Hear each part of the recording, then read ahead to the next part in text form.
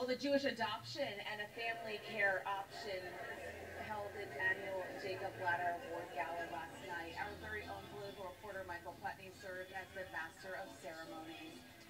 Well, events like the gala help the organization serve its mission to provide safety, love, and security to abused children through its programs including family preservation, foster care, adoption, mentoring, and a 24-hour emergency shelter.